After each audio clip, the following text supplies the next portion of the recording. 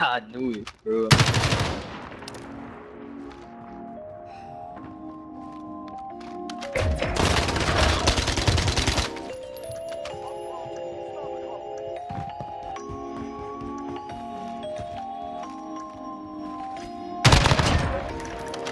You should have just went right back through the window.